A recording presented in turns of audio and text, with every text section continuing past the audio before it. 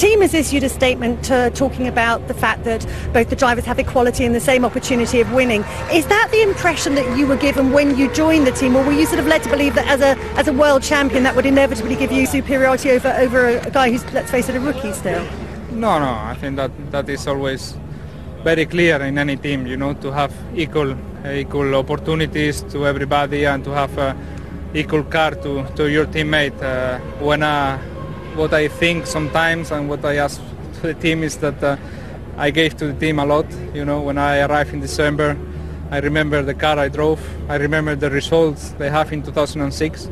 And now, you know, I brought to the team half a second, six tenths, whatever, and I don't see anything giving me back. You know, so that's that's the only thing. I understand, obviously, what he said, and he's definitely contributed hugely to the team since he has come. But let's not forget that we have, you know, nearly a thousand people back at the factory working day and night trying to improve the car. So, you know, it's a lot of people, and so if, if he's found six tenths, then what have they found? You know, it's really through their work, through, you know, we've done the test driving, me and Pedro, Pedro De La Rosa and, and Fernando.